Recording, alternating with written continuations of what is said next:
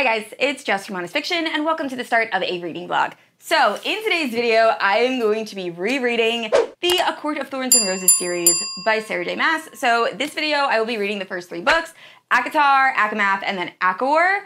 And this is my favorite fantasy romance series of all time. So I am both very excited and very nervous to jump back into the world of Prythian. So this will contain all of the spoilers. I was gonna try to do like a spoiler-free version, but I really just want to gush about this series. Like, I love this series so much. I remember when I first read this, it was during the lockdown, and I had never read fantasy romance before, and I was just so hooked. I think I stayed up all night finishing ACOWAR, the last book, A Court of Wings and Ruin.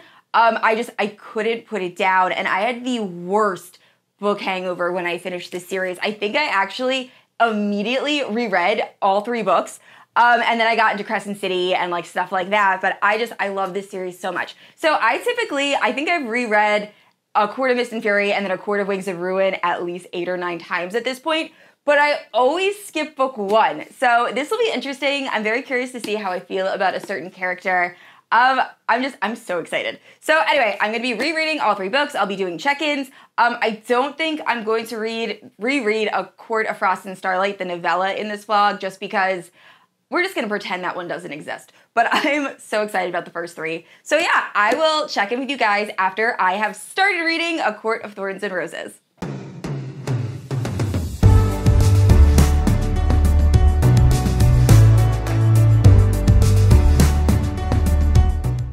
All right, so I'm about 11 chapters into ACOTAR, and here are my thoughts so far. So one, I tried the graphic audio. What I feel like people forget to mention is that you really can't listen to it past like 1.5 speed just because of all of the, like the sound effects. So I tried it. I just I wasn't a fan. I love the original narration, uh, Jennifer Ikeda. It's just it's so nostalgic because that's how I first listened to ACOTAR. Um, and yeah, so I'm sticking with the original, although I do see the appeal of the story graph. Um, it is really cool. But so far, what has happened is Feyre ends up killing the wolf that ends up being a fairy, and she is taken to the spring court where she's starting to realize that uh, Tamlin might actually be like the High Lord. She just caught the Suriel, and I'm I'm liking it. There are some things I completely forgot. One, I totally forgot how big of an ass Lucien is when we first meet him. Um, he has his reasons, but also like he's such a dick. Um, and then we also, I totally forgot about the children of the blessed. And from the beginning of this book, they are presented like they are going to be a major character. And I might be wrong, but I'm pretty sure the only time we see them again is in ACOWAR, where they die like really, really badly. Um, it's just like they're presented as if they're going to be like this big religious like grouping, and then I don't think they play a big role. Um, and then also, this has been driving me insane. Why did I think they were called Fae from book one? They're referred to as fairy throughout most of this book so far, or what I've read. And I always thought it was like the Feylands and the High Fae of like the Spring Court or whatever. And apparently it's fairy. And I don't know why that bugs me, but it does. so I'm thinking it might actually change into the next book and they start just saying Fey. I really did not remember that it was fairy. Um, but yeah, I'm I'm definitely enjoying this. Tamlin, we'll see. We'll see how I feel. Like as soon as he starts talking, I'm like, I hate you, but that's because I, I read the other two books, so I know what happens. But I also found it interesting that Feyre re or she says something that's like, oh, the high lady of the court if like that's actually a title. So even in the first book, we're giving hints that like that could be a thing. We're not really giving hints. I just think it's interesting that it's mentioned and Feyre's like, if that's really a thing. Because we know later Tamlin's like, oh, that is a made up title, like there is no high lady. And Rhysand's like, oh yes there is, and I'm gonna make one. And I just I love this series. I love this series so much, and I'm just so happy to be rereading it it's amazing. Like, I don't think any other series compares. So, anyway, I'm gonna keep reading book one. We'll see my thoughts on Tamlin, and I will check in with you guys a little bit later. All right, guys, so this is gonna be like a super short clip, but I just got to the part in A Court of Thorns and Roses where Feyre is in Calanmai and she bumps into a stranger and he says, There you are, I've been looking for you. All of the feels. I love this book so much, and my favorite character has finally entered and I'm just I'm so excited. Like the rest of this book, I already know is amazing. I just I love this series. I love this series. It's the only series that like gives me butterflies. But yeah, I just I've reached that part and I'm now excited to continue and I will check with you guys a little bit later.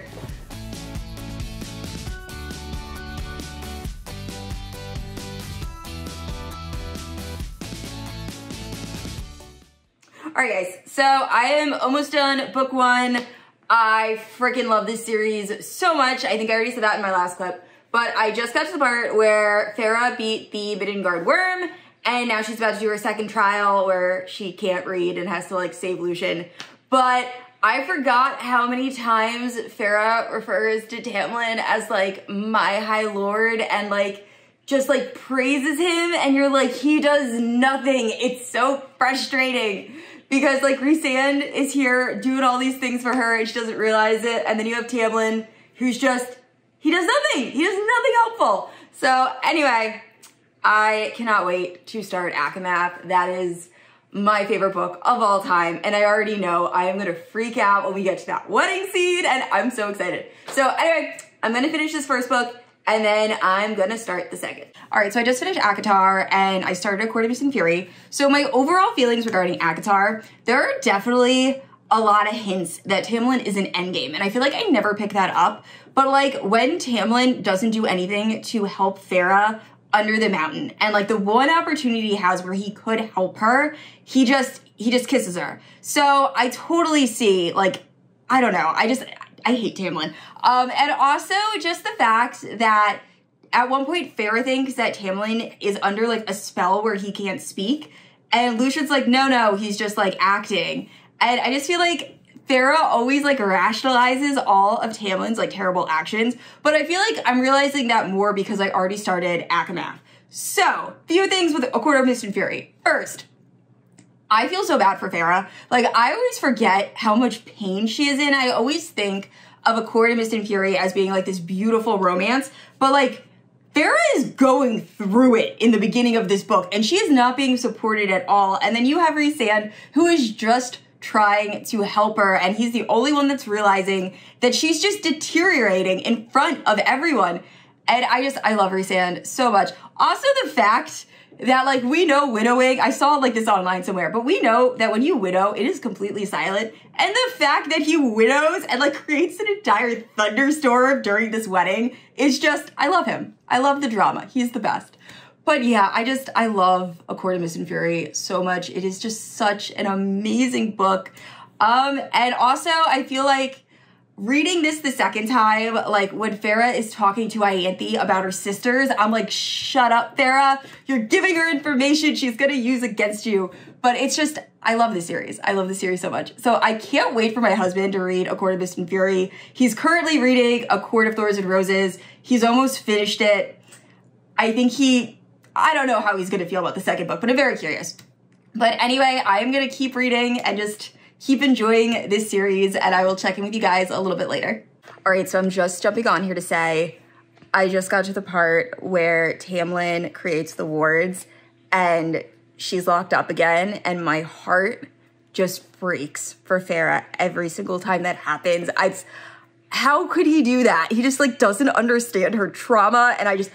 I hate him. I hate him so much. I know I always say like I want him to be redeemed, but like at this particular point, I just I, I hate him worst character ever. But yeah, so now we know all the good stuff is about to happen and I'm very excited. So I'll check in with you guys later. Guys, so my husband is also reading ACOTAR for the first time and we just filmed a like rapid fire Q&A because he's halfway done the first book and he just talked about how much he like loves Tamlin and how Tamlin's so great for Feyre and he's providing for her. And I just wanted to be like, you are so wrong. But I did not say that. But anyway, I am still reading A Court of Mist and Fury and absolutely loving it. So we're pretty much at the part where Feyre is starting to heal. She sees that Rhysand has kept his people safe. His city is prospering under him as like the High Lord. They're not doing tithes and all these other things that like Tamlin's court is doing.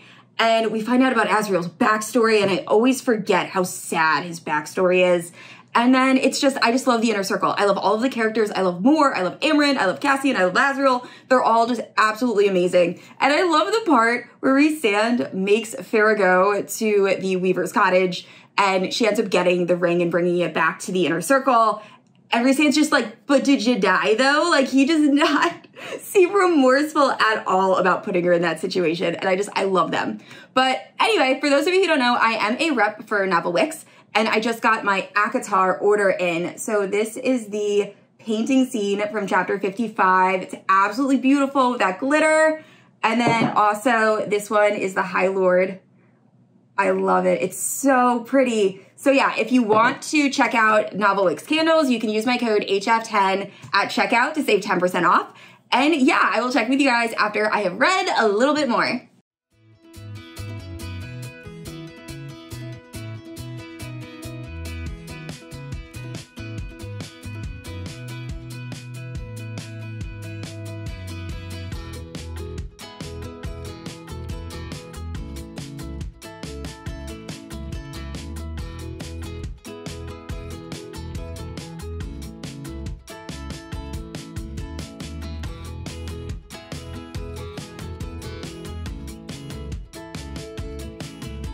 All right, guys, so I'm early to meet up with one of my like childhood friends. I haven't seen her in a while. So I figured now would be a good time to do an update. So I am now at the Starfall scene, which, oh my gosh, it's one of my favorite scenes ever. So absolutely loved it. But also like the Under the Mountain scene, not Under the Mountain Amarantha, but Hewn City Under the Mountain. Um, that scene also always kills me because there's just like so much angst and you know Rhys and Feyre are like starting to fall for each other. I mean, Rhys has already fallen for her, but like there's chemistry and yet Feyre's kind of fighting it because she just broke up with Tamlin and it's just, it's so good. I just, I love this book so, so much. So anyway, I'm hoping to finish this tonight and then I think I am going to jump right into ACOWAR. And yeah, I will check in with you guys a little bit later.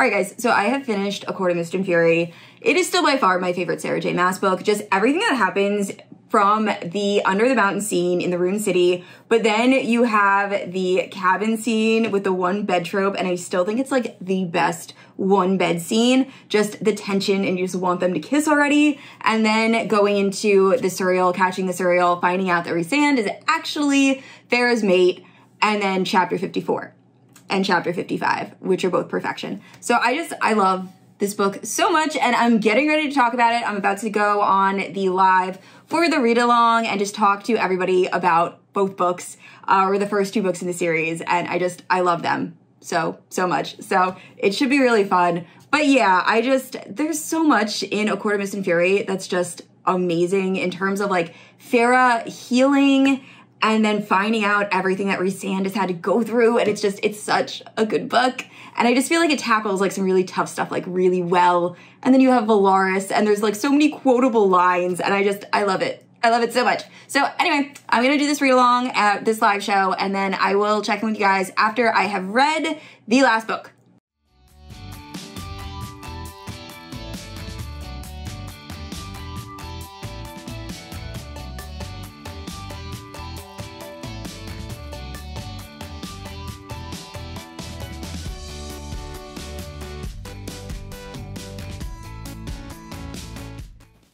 All right, guys, so this is the final update. I did not do a good job of checking in while I was reading ACOWAR, and that is because I read that book in a day and a half. Like, I forgot how much I love the third book in the ACOTAR series, and I love the second book, A Court of Mist and Fury. Like, that's definitely my favorite. But ACOWAR is my second favorite by like a small margin. There are so many scenes in ACOWAR that are just like top tier. When Cassian is saving Feyre from Lucien's brother Eris and his other brothers, and it's like a shadow fell from the sky. No, an Illyrian warrior. That part will always give me goosebumps. I freaking love that part. And then also just the High Lord's meeting scene when Tamlin shows up and is just an ass. I I love it. I loved it so much. It is one of my favorite scenes. And then of course like the ending and the battles. I feel like we forget or I forget that Sarah J. Maas writes battles very well. Just like action and everything. It was just all I loved it. I also totally forgot about the library monster. Um, don't know how I forgot about that, but I did. So I just, I love, I love the third book, and this series as a whole is just amazing. Something I did notice on my reread, um, so it said that Lucien can his magic eye can like see through glamours. How is how did he not notice that Feyre had a tattoo when in the very beginning of the book when she first goes to the spring court? Because obviously she had that tattoo glamored and it's her like high lady tattoo. But I feel like Lucien definitely would have noticed. And also when she's dosed with Faebane, she's not able to like do any magic. So wouldn't that have like showed up? I don't know. That's like a small critique that I noticed that kind of annoyed me. But overall, I just I love this series with all my heart. It is still my favorite fantasy romance series of all time. And I will be reading A Court of Frost and Starlight and then A Court of Silver Flames uh, in another reading vlog because we have decided to read that during the read along. And I'm gonna, I'll probably update a lot more for that because I don't like Nesta as a character. I remember after I finished A Court of Silver Flames, I liked her a little bit more, but we'll see. I have a lot of issues with that book, and I want to see if I still have them the second time around. So, yeah, thank you guys so much for watching this ACOTAR reading vlog, and I will see you all next week. Bye.